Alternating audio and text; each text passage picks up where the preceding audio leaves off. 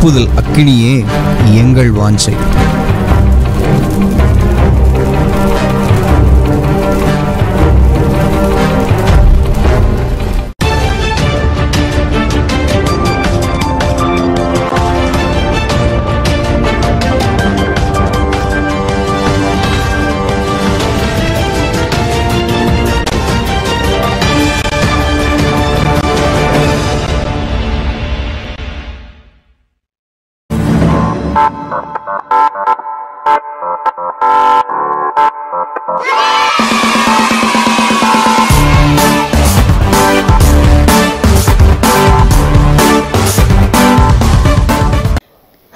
குட்டீஸ் எப்படி இருக்கிறீங்க? ஒவ்வொரு வாரமும் நீங்களாம் பார்ப்பீங்க என்ஜாய் பண்ணுவீங்கன்னு சொல்லிட்டு நம்பிக்கையோடு ரொம்ப சிரத்தை எடுத்து நாங்கள் நிறைய காரியங்களை உங்களுக்காக நாங்கள் செய்துட்ருக்குறோம். டீச்சர்ஸ் எல்லாம் பாருங்கள் ஹார்ட் ஒர்க் பண்ணி அவங்களாம் என்ன செய்கிறாங்க வந்து உங்களுக்காக ஸ்டோரிஸ் சொல்லி மெமரி வாஸ் சொல்லி கொஸ்டின்ஸு சாங்ஸு எல்லாம் உங்களுக்காக டீச் பண்ணிகிட்ருக்குறாங்க நீங்களாம் இதில் என்ஜாய் பண்ணுவீங்க நாங்கள் நினச்சிட்ருக்குறோம். ஆனால் ஒரு குட் நியூஸ் தெரியுமா? இனி வர்ற நாட்களில் நமக்கு சண்டே ஸ்கூல் வர வரப்போகுது. வர ஞாயிற்றுக்கிழமையிலேருந்து நம்முடைய சபையில் சண்டே ஸ்கூல் ஆரம்பிக்க போகிறோம் ஆ எத்தனை பேர் ரெடியாக இருக்கிறீங்க சண்டே ஸ்கூலுக்கு வர்றதுக்கு? காலையிலே எழும்பி வரணும்னு கஷ்டமாக இருக்குதா? ஆ, அல்லது எப்படா சண்டே ஸ்கூல் வரும்னு சொல்லி ஆசையாக இருக்கிறீங்களா? ஒன்றும் எங்களுக்கு புரியலை. பார்க்கலாம். எத்தனை பேர் நீங்கள் இந்த சண்டே ஸ்கூல் நீங்கள் அட்டன் பண்ண போகிறீங்க இந்த கதைகள் வசனங்கள் மேலே எத்தனை பேர் ஆர்வமாக இருக்கிறீங்கிறத நாங்கள் பார்க்க போகிறோம் பாருங்கள் ஒவ்வொரு வாரமும் நாங்கள் சொல்கிறோம்ல நீங்கள் உங்களுடையதான ப்ரோக்ராம்லாம் நீங்கள் பண்ணி நீங்கள் ஸ்க்ரீனில் போட்டு இந்த இது வாட்ஸ்அப்பில் போட்டு விடுங்க நாங்கள் சொல்கிறோம் நீங்கள் எத்தனை பேர் இதை நீங்கள் கேட்குறீங்கன்னு தெரியல. எத்தனை பேர் நீங்கள் ஒருத்தர் கூட நீங்கள் என்ன செய்ய மாட்டேங்கிறீங்க இன்ட்ரெஸ்ட்டாக இதை செய்யவே மாட்டேங்கிறீங்க உங்கள் அம்மா அம்மா அம்மா அப்பாட்ட சொல்லி நீங்கள் என்ன செய்யணும்? நீங்கள் வசனங்களை ம மனப்பாட வசனங்களை சொல்லி கொஸ்டின்ஸ்க்குரிய ஆன்சர்ஸ் சொல்லி நீங்கள் என்ன செய்யுங்க? வீடியோ எடுத்து எங்களுக்கு அனுப்பிவிடுங்க அது டீச்சர்ஸை என்கரேஜ் பண்ண மாதிரி இருக்கும். நம்ம சண்டே ஸ்கூல் டிபார்ட்மெண்ட்டை என்கரேஜ் பண்ண மாதிரி இருக்கும். பேரண்ட்ஸ் நீங்கள் இதில் ஒத்துழைக்க எங்களை அன்பாய் கேட்டுக்கொள்கிறோம். இப்போ நம்ம ஜெபிக்கலாமா? கிருபை மிரக்கம் இருந்தாலும் எங்கள் நல்ல பிதாவே சர்வ வல்லமையுள்ள தேவனே இந்த வேலைக்காய் மக்கள் நன்றி செலுத்துகிறோம். கத்தாவே சிறு பிள்ளைகளை என்னிடத்தில் வருவதற்கு இடம் கொடுங்கள். அவர்களை தடை பண்ணாதிருங்கள். பரலோக ராஜ்யம் அப்படிப்பட்டவர்களுடையது என்று சொன்னீரப்பா இந்த நாளில் இந்த சிறுவர்களுக்காக நாங்கள் எடுக்கிற முயற்சிகளை நீர் ஆசீர்வதிக்கணும். அப்பா சிறுவர்கள் இன்னும் உண்மை கிட்டி சேரணும். கத்தாவை எல்லாரும் கத்தாவை உம்முடைய அன்பினால் நிரப்பப்படணும். கத்தாவை எல்லா பிள்ளைகளும் உண்மை நேசிக்கணும்ப்பா. தகப்பனை இப்படிப்பட்டதான ஆமை கிரியைகளை செய்ய வேண்டும் என்று சொல்லி ஜெபிக்கிறோம். இந்த நாளிலும் இந்த Sunday school program quarantine Sunday school program ஆசீர்வதித்து தாங்க. தகப்பனை ஆரம்பம் முதல் முடிவு பரியந்தம் நம்முடைய தெய்வீக பிரசன்னம் அப்பா கடந்து வருவதாக என்று சொல்லி ஜெபிக்கிறோம். இந்த கதைகளை கேட்கும் பொழுதே பாடல்களை கேட்கும் பொழுதே உம்முடைய பிரசன்னம் பிள்ளைகள் மேலே இறங்குவதாக உம்முடையதான வல்லமை கத்தாவே அப்பா ஸ்தோத்திரம் கேட்டுக்கொண்டிருக்கிறவர்கள் மேலே இறங்கி அபிஷேகத்தை கட்டளையிடுவதாக என்று சொல்லி ஜெபிக்கிறோம். கத்தாவே ஸ்தோத்திரம் அப்பா ஒவ்வொரு பிள்ளைகளையும் ஆசீர்வதிப்பீராக. கேட்கிறதோடு விட்டு விடாதபடிக்கு தகப்பனே அவைகளை ஞாபகமாய் வைத்து தொடர்ந்து அப்பா உம்முடைய அன்பில் நிலைத்திருக்க அப்பா உமக்கு பிரியமானவைகளை செய்ய. நீர் பிள்ளைகளுக்கு நீர் அனுக்கிரகம் செய்தரல வேண்டும் என்று சொல்லி ஜெபிக்கிறோம். பொறுப்படுத்திக்கொள்ளும் ஆசீர்வதியும். வழி நடத்துங்க காத்துக்கொள்ளுங்க.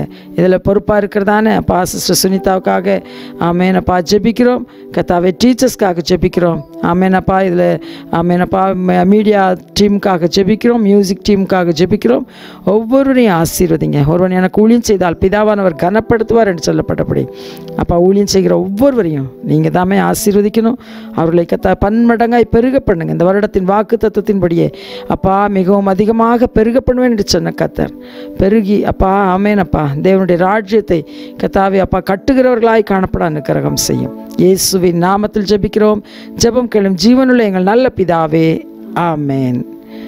காட் பிளஸ் யூ தொடர்ந்து பாருங்க பா பாட்டுகளை கேளுங்க கதைகளை கேளுங்க ம வன் மனப்பாட வசனங்களை கேளுங்க ஆ, இந்த கேள்விகளுக்கெல்லாம் பதில் கொடுங்க. காட் பிளஸ் யூ தேங்க்யூ பைபிளில் ஏசப்புடைய நாமத்துக்கு நிறைய வல்லமை இருக்குன்னு சொல்லப்பட்டிருக்கு. நாமம்னா என்னன்னு கேட்குறீங்களா பெயர் நேம் ஓகேவா ஸோ நம்ம அந்த நாமத்தை நோக்கி கூப்பிட்டோம் அப்படின்னா நமக்கு என்றைக்குமே வெற்றி தான் அதை பற்றின ஒரு பாட்டை தான் நம்ம கற்றுக்க போகிறோம் கற்றுக்கலாமா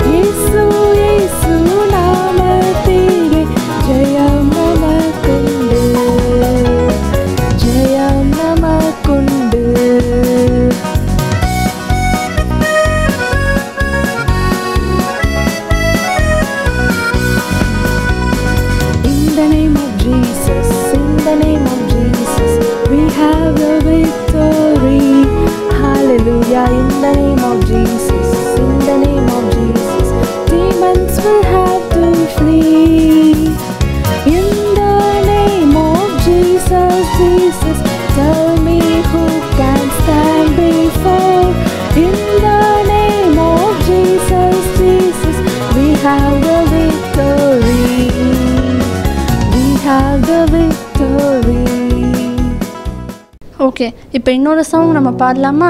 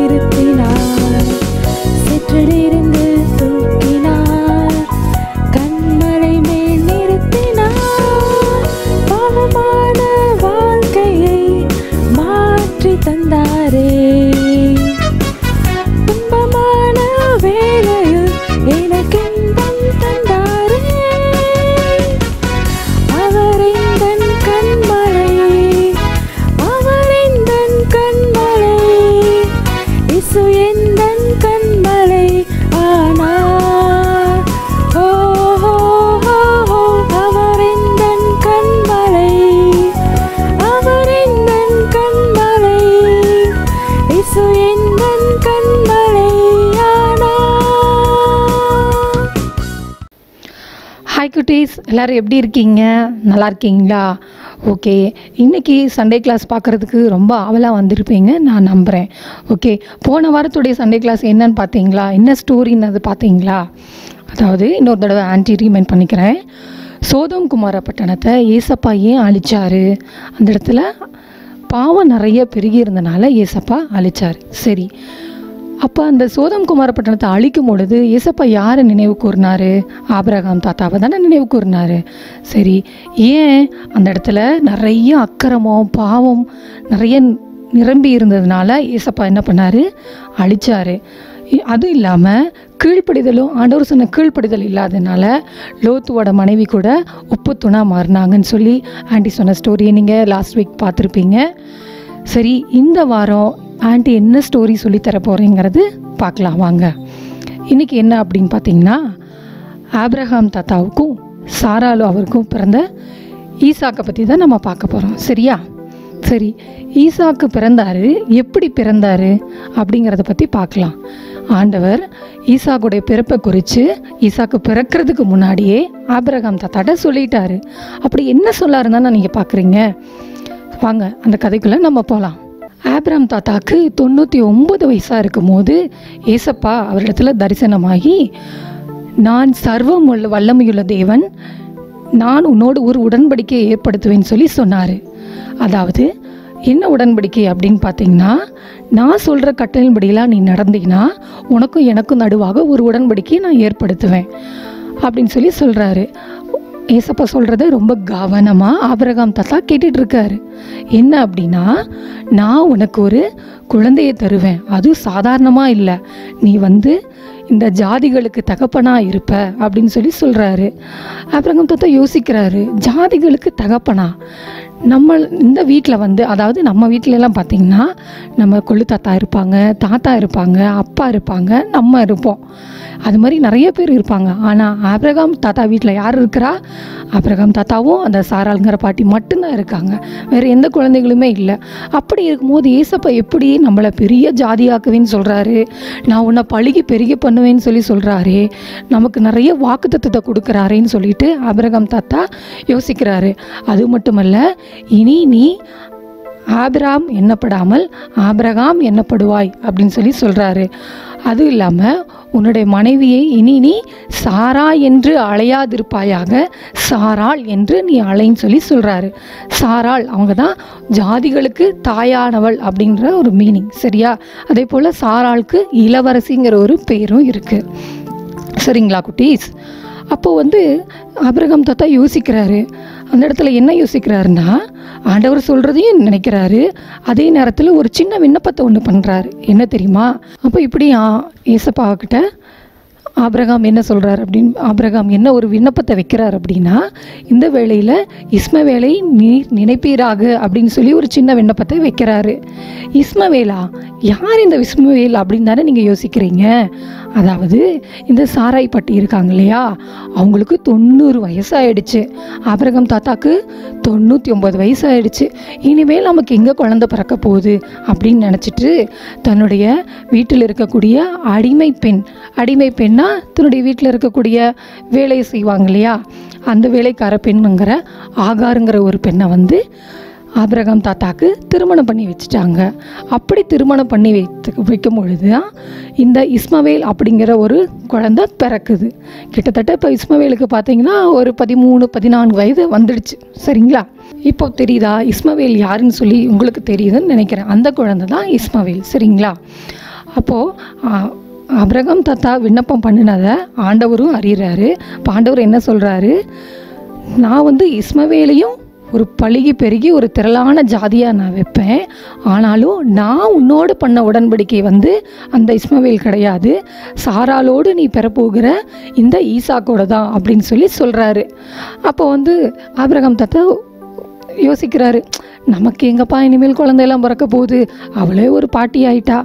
நமக்கு எங்கே குழந்தை பிறக்க போகுது? அப்படின்னு சொல்லிட்டு அவர் ஒரு அவர் அடுத்த காரியத்துக்கு நோக்கி போயிட்டுருக்காரு அதுக்கு பிறகு அப்ரஹாம் தாத்தாக்கு நூறு வயசாயிடுச்சு. சாராளமாக ரொம்ப முதிர் வயது போய் ஒரு ரொம்ப வயசான பாட்டியாக ஆயிட்டாங்க. ஆனால் ஆண்டவர் அன்றைக்கு வாக்குத்தத்தம் சொன்னபடி அவர் வாக்குரைத்தத்தின்படி அவங்களுக்கு அழகான ஒரு குழந்தையை ஆண்டவர் கொடுக்கிறார். அந்த குழந்தை தான் ஈசாக்கு. சரிங்களா? இந்த ஈசாக்கு பிறந்த எட்டாவது நாளில் ஏசப்பா சொன்ன கட்டளையின்படி ஈசாக்கு பிறந்த எட்டாவது நாளில் ஆபிரகாம் விருத்த சேதனை செய்கிறாரு அந்த ஈசாக்கு. சரியா? அடுத்தபடியாக இந்த குழந்தை ஓரளவு வளர்ந்து பெரியவனான பிறகு அந்த அபிரகம் தாத்தா அந்த ஊரையே கூப்பிட்டு ஒரு பெரிய விருந்து மாதிரி ஒன்று வைக்கிறாரு. அந்த விருந்து வச்சு எல்லாரும் அந்த குழந்தையை பார்க்கறதுக்கு ஆசையே வராங்க. இந்த விஷயத்தை கேள்விப்பட்ட ஆகார ஓடி வரா அச்சச்சோ நம்முடைய குழந்தை இனி என்னை யாரும் பார்க்க மாட்டாங்களா? அப்படின்னு சொல்லிட்டு என்ன பண்ணுறாங்க அந்த அபிரகாம் தத்தா தாத்தா இருக்கிற வீட்டை நோக்கி ஓடி வராங்க. அப்படி வந்த பொழுது தான் சாரால் சொல்கிறாங்க அபிரகாம் தத்தட்ட என்ன சொல்கிறாங்க நீ அந்த அடிமை பெண்ணையும் அவளுடைய குழந்தையும் நீ என்ன பண்ணக்கூடாது? இனி பார்க்கக்கூடாது. அவளை அனுப்பிவிடுங்கன்னு சொல்லி அந்த தா பாட்டி என்ன சொல்கிறாங்க அப்ரகம் தாத்தாட்ட சொல்கிறாங்க இப்படி சொன்ன பிறகு அப்ரகம் தாத்தா ஒரு இடத்துல போய் ரொம்ப துக்கமடைகிறாரு யாரை குறித்து யாரை குறித்து துக்கமடைகிறாரு தன்னுடைய மனைவியாகிய ஆ- ஆகாரையும் தன்னுடைய இன்னொரு குழந்தையாகிய இஸ்மவேலை குறித்து ரொம்ப துக்கமடைகிறாங்க அவர் துக்கமடைகிறத ஆண்டவர் அறிஞ்சு மீண்டுமா ஆபிரகாமிடத்தில் தரிசனம் ஆகுறாரு. ஏன் ஆபிரகாமே நீ ஏன் இவ்வளோ துக்கமாகிற? நீ ஆகாத. நான் உன்னோட பண்ண உடன்படிக்கையை நிறைவேற்றணுமா இல்லையா? அதனால் உன் மனைவியாகிய சாரால் சொல்கிற பேச்சை நீ கேளு அப்படின்னு சொல்லி சொல்கிறாங்க அப்படி சொன்ன பிறகு சரின்னு சொல்லிட்டு இந்த ஆகார் ஆகாரையும் தன்னுடைய குழந்தையும் என்ன பண்ணுறாங்க தூக்கி தோல் மேலே போட்டு ஒரு துருத்தியில் தண்ணி வச்சுட்டு நீ அவ அவங்க ஆபரகம் என்ன பண்ணுறாரு நீ வந்து வேறு தேசத்துக்கு போயிருன்னு சொல்லிட்டு ஆபிரகாம் தாத்தா என்ன பண்ணிடுறாரு அவங்கள அனுப்பிடுறாங்க. அந்த சமயத்தில் தான் ஆகார் என்ன பண்ணுறா ரொம்ப அழுகுறாங்க. பாவம் அவங்களுக்கு யாருமே இல்லை. இனி நம்ம எங்கே போக போகிறோம் அப்படிங்கிற ஒரு சூழ்நிலையில் அந்த குழந்தைய கூட்டிகிட்டு அந்த பதிமூன்று வயது அந்த குழந்தைய கூட்டிகிட்டு வனாந்தரமான ஒரு காட்டை நோக்கி போயிட்டுருக்காங்க. சரியா? அந்த காட்டில் ஒரு எங்கேயுமே இப்போ இருக்கிற மாதிரி கடைகளோ மற்ற வீடோ ஒரு எங்கே பண் ஒரு ரெஸ்ட் எடுக்க கூட எந்த இடமும் கிடையாது. பயங்கரமான காடு. குடிக்க தண்ணி கூட எங்கேயுமே கிடைக்காது. அந்த நேரத்தில் அவங்க கொண்டு வந்த துருத்தியில் கொண்டு வந்திருந்த தண்ணி கூட என்ன ஆயிடுச்சு? குறைஞ்சி போயிடுச்சு. கொஞ்சம் கொஞ்சமாக குறைய குறைய என்ன ஆகிடும் தண்ணி கூட இல்லாமல் நம்மளால் இருக்க முடியுமா? கண்டிப்பாக இருக்க முடியாது. அப்பேற்பட்ட சூழ்நிலையில் ஒரு சொட்டு தண்ணி கூட இல்லைங்கும் பொழுது அவங்க என்ன ஆயிடுறாங்க ரொம்ப மனசு வேதனை அடைஞ்சு ஐயோ தன்னுடைய குழந்தை என்ன? கொஞ்ச நேரத்தில் இறந்தாலும் இறந்துருவாங்களே அப்படின்னு ரொம்ப அழுகுறாங்க. பயங்கரமாக அழுகுறாங்க. தன்னுடைய குழந்தையை கொண்டு போய் என்னது? ஒரு சூறை செடிக்கு அடியில் ஒரு மரத்தோட நெல்ல போய் அந்த குழந்தைய போட்டுட்டு இவங்க போய் ரொம்ப தூரத்தில் உட்காந்து ரொம்ப அழுகு அழுன்னு அழுகுறாங்க. இவங்க ஒரு பக்கம் அழுகுறாங்க குழந்தை ஒரு பக்கம் அழுகுது. இந்த குழந்தையினுடைய கூக்குரலை கேட்ட ஆண்டவர் தேவதூதர்கள் மூலமாக ஆகார் இடத்துல போய் பேசுகிறாங்க அப்பொழுது ஒரு தூதர் வந்து ஏன் ஆகாரே நீ அழுகிற? இந்த குழந்தையினுடைய சத்தம் யாரை கேட்டுச்சு? ஏசப்பான இடத்துல எட்ட எட்டுன அப்படின்னால உன்னுடைய குழந்தை உன்னோட குழந்தைக்கும் உனக்கும் இனி ஒன்றும் ஆகாது. ஆண்டவர் உன்னுடைய குழந்தையை இஸ்மவேலையும் ஒரு பெரிய ஜாதியாக்குவார். உன்னுடைய குழந்தையையும் பழுகி பெருக பண்ணுவேன்னு சொல்லி சொல்லியிருக்காரு. அதனால் நீ இனி எதுக்கும் பயந்துக்காதன்னு சொல்லிட்டு ஆண்டவர் அந்த தூதர்கள் என்ன பண்ணுறாங்க அகரிடத்தில் பேசினது பிறகு ஆகாருடைய கண்கள் திறக்கப்பட்டது. அதற்கு பிறகாக அவங்க அந்த குழந்தைய தூக்கிட்டு ரொம்ப சந்தோஷமாக போகிறாங்க ஏன் ஏன்னா ஏசப்போடைய தூதர்களே வந்து ஆகார இடத்துல பேசணும் அப்படின்னால அவங்களுக்கு ரொம்ப சந்தோஷம். அவங்களுடைய எல்லா துக்கமான முகங்களும் என்ன ஆயிடுச்சு? மாறப்பட்டது. அதனால் அதுக்கப்புறம் கண்கள் திறக்கப்பட்டது போது அங்கே பார்த்தீங்கன்னா ஒரு பெரிய தண்ணீர் ஒரு ஊற்றுண்டை பார்க்குறாங்க அங்கே போய் குழந்தைக்கு வேணுங்கிற தண்ணியை பருகிட்டு மீண்டும் அந்த துருத்தியில் தண்ணி எல்லாம் நிரப்பிட்டு தன்னுடைய குழந்தையை கூட்டிட்டு அவங்க தன்னுடைய எங்கே போகணுமோ அந்த பாதையை நோக்கி போகிறாங்க அந்த குழந்தை ரொம்ப வளர்ந்து வில்வித்தையில் பெரிய பயிற்சி பெற்ற ஒரு பெரிய வீரன் ஆகிறான் தன்னுடைய குழந்தை பெ- பெரிய ஜாதியாக ஆண்டவர் சொன்னபடி இஸ்மவேலையும் கர்த்தர் என்ன பண்ணுறாரு பழுகி பெருகி ஒரு பெரிய ஜாதியாக மாற்றிடுறார். இதுலேருந்து நம்ம என்ன தெரிஞ்சுக்கிறோன்னு பார்த்திங்கன்னா வாக்குரைத்த தேவன் என்ன பண்ணுவார்? என்றைக்கும் வாக்கு மாறாத தேவனாக இருக்கிறார். சரிங்களா? அதனால் ஏசப்பா யாருக்குமே அபிரகம் தாத்தாக்கு மட்டும் இல்லை எல்லாருக்கும் அப்படிதான். நமக்குள்ளே இருக்கக்கூடிய ஒவ்வொருவருக்கும் வாக்கு தத்துவத்தை வச்சுருக்காரு. நீங்களும் என்ன பண்ணணும்? ஆண்டோடத்தில் கேட்டு ஆண்டோடத்தில் பெற்றுக்கொள்ளணும். விசுவாசத்தோடு பெற்றுக்கொள்ளணும். அவர் வாக்கு பண்ணிட்டாருன்னா யாராலையும் அதை என்ன பண்ண முடியாது? மாற்றவும் முடியாது. சரிங்களா? அதனால் தேவன் நமக்கு கொடுத்த வாக்குத்தத்தத்தை பெற்றுக்கொள்வதற்கு நாம் சுதந்திரவாளிகளாக இருக்கணும். சரிங்களா? சரி இப்போ நாம் ஒரு குட்டி ஜெபம் பண்ணலாமா? இப்போ நம்ம ஜெபம் பண்ணலாம். ஸ்தோத்திரம் ஆண்டவரே மகா இறக்கும் கிருபையும் பரிசுத்தம் நிறைந்த எங்கள் நல்ல தேவனே இந்த அருமையான விளைக்காய் உண்மை நன்றியோடு கூட ஸ்தோத்திரிக்கிறோம் அப்பா. இப்பொழுது இந்த கதைகளை கேட்கப்பட்ட ஒவ்வொரு குழந்தைக்காக நாங்கள் ஸ்தோத்திரிக்கிற சுவாமி. நாங்கள் சொன்னதான இந்த கதைகள் ஆண்டவரே கேட்கப்பட்ட ஒவ்வொருடைய குழந்தைகளுடைய இருதயத்தில் ஆண்டவரே அப்பா ஒரு நல்ல கனி தரக்கூடிய ஆண்டவரே ஒரு நல்ல அப்பா அவர்கள் ஜீவியங்கள் அவர்கள் தேவன் கொடுத்த வாக்குத்தத்தத்தை போல அவர்கள் சுவாமி. தேவன் தனக்கு கொடுத்த வாக்குத்தத்தத்தை நிறைவேற்ற வல்லமையுள்ளவர் என்று அவர்கள் விசுவாசித்து சுவாமி தன்னுடைய எதிர்காலங்களிலும் அவர்கள் அப்பா கண்ணி கொடுக்கிற பிள்ளைகளாக இருக்கணுமே ராஜா. ஆமாப்பா இதை பார்க்கிற ஒவ்வொரு கண்கள் ஆச்சரியப்படத்தக்கதாக. கர்த்தாவே அவர்களுக்குள்ள நீ கிரியை செய்தலும்படியாக இருக்க நாங்கள் செபிக்கிறோமே சுவாமி. அப்பா இந்த காலம் பொல்லாங்கானதாக இருக்கிறபடினால தகப்பனே எங்களுடைய பிள்ளைகளை நீங்கள் பாதுகாத்து கொள்ளுவீராக சுவாமி. கர்த்தாவே இந்த கதைகளின்படி அப்பா இதை கேட்டது மாத்திரம் அல்லாதபடிக்கு தன்னுடைய இருதயத்தில் ஆண்டவரே அவர்கள் ஒவ்வொரு நாளும் நினைவு கூர்ந்து அநேகருக்கு சாட்சியுள்ள பிள்ளைகளாக எங்களுடைய பிள்ளைகள் விளங்கணும் சுவாமி. கர்த்தர் அப்படியாய் அவருடைய குடும்பங்களையும் கர்த்தர் ஆசிர்வதிக்கும்படியா நாங்கள் ஜெபிக்கிறோம். நீரை பொறுப்படுத்திக் கொள்ளும் ஆசிர்வதியும் இயேசு கிறிஸ்துவின் இனிய நாமத்தில் ஜெபிக்கிறோம். எங்கள் ஜீவனுள்ள பிதாவே. ஆமேன். ஓகே குட்டீஸ் இப்போது இவ்வளோ நேரம் இந்த கதையை கேட்டீங்க இல்லையா? இப்போ இந்த கதையிலேருந்து ஆன்ட்டி ஒரு சில கொஷின் கேட்குறேன்.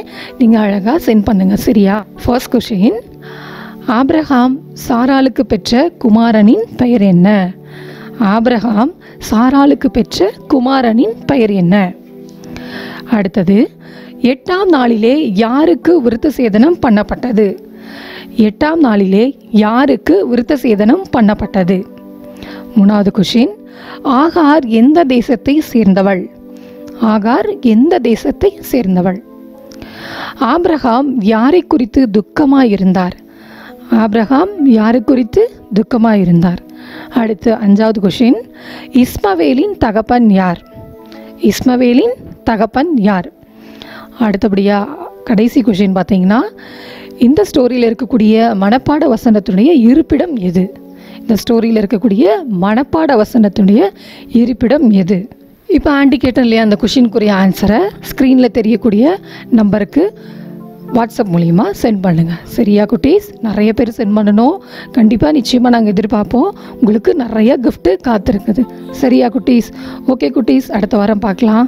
பாய் என்ன பிள்ளைங்களா? எல்லோரும் ஸ்கிரிப்சர் நல்லா கவனிச்சிங்களா? இப்போ வந்து நம்ம மெமரி வேஸ் கற்றுக்கலாம் இந்த மெமரி வேஸ் என்ன சொல்லுதுன்னா சாரால் எப்படி விசுவாசத்தோ வி விசுவாசமாக இருந்து ஈசாக்கை பெற்றாங்க. அதான் சொல்லுது. ஓகேவா இது எங்கே இருக்குன்னா எபிரேயர் பதினொன்று பதினொன்றில் இருக்குது விசுவாசத்தினால விசுவாசத்தினாலே சாராலும் வாக்குத்தத்தம் பண்ணினவர் உண்மையுள்ளவர் என்று கற்பந்தரிக்க பலனடைந்து வயது சென்றவளாக இருந்தும் பிள்ளை பெற்றாள். ஓகேவா இதை நம்ம இப்போ ஆக்ஷனோட அண்ணாக்கிட்ட சேர்ந்து சொல்லலாமா? விசுவாசத்தினாலே சாராலும் வாக்குத்தத்தம் பண்ணினவர் உண்மையுள்ளவர் என்று எண்ணி கற்பந்தரிக்க பலனடைந்து வயது சென்றவளாயிருந்தும் பிள்ளை பெற்றார் இன்னொரு டைம் சொல்லிடலாம். விசுவாசத்தினாலே சாராலும் வாக்குத்தத்தம் பண்ணினவர் உண்மையுள்ளவர் என்று கற்பந்தரிக்க பலனடைந்து வயது சென்றவளாயிருந்தும் பிள்ளை பெற்றார் எபிரேயர் பதினொன்று பதினொன்று ஓகேவா இப்போ வந்து அனிஷனா மட்டும் சொல்லுவாங்க. விசுவாசத்தினாலே சாராலும் வாக்குத்தத்தம் பண்ணினவர் உண்மை உள்ளவர் என்றினி கர்ப்பந்திரிக்க பலனடைந்து வயது சென்றவளாய் இருந்தும் பிள்ளை பெற்றாள். எபிரேயர் பதினொன்று பதினொன்று ஓகே குட்டீஸ். மனப்பாடம் வசனம் கற்றுக்கிட்டீங்களா இப்போ வந்து இந்த மனப்பாடம் வசனத்தை நீங்கள் சொல்லி வீடியோ எடுத்து கீழே இருக்க வாட்ஸ்அப் நம்பருக்கு எங்களுக்கு சென்ட் பண்ணிடுங்க ஓகேவா ஹாய் குட்டீஸ். ப்ரைஸ் லார்ட் இன்றைக்கி ப்ரோக்ராம் எல்லாம் உங்களுக்கு ரொம்ப பிளெஸ்ஸிங்காக இருந்திருக்கும். நல்ல பாடல்கள் ம- மனப்பாடம் வசனம். ஆன்டி சொன்ன ஸ்கிரிப்சர் லெசன் உங்களுக்கு ரொம்ப பிளெஸ்ஸிங்காக இருந்திருக்கும். இன்றைக்கி நம்ம பார்த்த தலைப்பு வந்துட்டு ஈசாக் வந்து வாக்குதத்தத்தின் புத்திரர் என்று சொல்லி நம்ம பார்த்தோம். ஏசப்பா நம்ம கூட நிறைய வாக்குதத்தங்களை கொடுத்துருப்பாங்க. வாக்குதத்தத்தில் எப்போதும் ஏசப்பா வந்து உண்மை உள்ளவராக இருக்கிறாங்க. அந்த வாக்குதத்தத்தை கருத்தர் எப்படி என்ன செய்வாங்க நமக்கு நிறைவேற்றி தருவாங்க. இன்றைக்கி தேவன் நம்மளுடைய சண்டே ஸ்கூல் ப்ரோக்ராம் எல்லாவற்றையும் ஏசப்பா நமக்கு ஆசிர்வதித்து தந்தபடியால் நம்ம கண்களை மூடி நம்ம இப்போ ஜெபம் பண்ண போகிறோம் எங்களுக்கு கிருபியாய் நேசிக்கிறீங்க நல்ல தகப்பனே. நன்றியோடு மெய் துதிக்கிறோம் மெய் ஸ்தோத்திரிக்கிறோம் அப்பா. இந்த நாளில் கூட எங்களுடைய சண்டே ஸ்கூல் ப்ரோக்ராமை என் தேவன் எங்களுக்கு ஆசீர்வதித்து கொடுத்தபடியால் உமக்கு நன்றி செலுத்துகிறோம் அப்பா. இப்பொழுது கூட அப்பா நாங்கள் பாடின பாடல்கள் அப்பா மனப்பாடம் வசனம் அப்பா. அண்டு ஒரு வேத பகுதியை கர்த்தர் எங்களுக்கு ஆசீர்வதித்து கொடுத்தீரே அதுக்காக நன்றி. அப்பா எங்களுடைய சண்டே ஸ்கூல் டிபார்ட்மெண்ட்டுக்காக நாங்கள் ஜெபிக்கிறோம் அப்பா. கர்த்தர் எங்களை ஆசீர்வதிக்கும்படியாக நாங்கள் ஜெபிக்கிறோம் அப்பா. இந்த நாளில் இந்த ப்ரோக்ராமை பார்த்த ஒவ்வொரு சிறு பிள்ளைகளையும் பெரியோரையும் என் தேவன் அப்பா. நீங்கள் ஆசீர்வதிக்கும்படியாக நாங்கள் செபிக்கிறோம் அப்பா. கர்த்தர் சொன்ன எல்லா வாக்கு தத்தங்களும் அப்பா. ஆமென் ஆமேன் என்று ஆமேன் என்று எழுதப்பட்டிருக்கிறது அப்பா. அது கர்த்தர் அப்படியாக நீர் நிறைவேற்றி தரும்படியாக நாங்கள் செபிக்கிறோம் அப்பா. ஏசப்பா ஸ்தோத்திரம் அப்பா. ஒவ்வொரு பிள்ளைகளையும் ஆண்டவரே நீங்கள் ஆசீர்வதிங்க ராஜா. அப்படியே கரங்களில் ஒப்பு கொடுத்து ஜெபிக்கிறோம். ஏசு கிறிஸ்துவின் வல்லமுள்ள நாமத்தில் ஜெபிக்கிறோம். எங்கள் ஜீவனுள்ள நல்ல பிதாவே. ஆமேன்.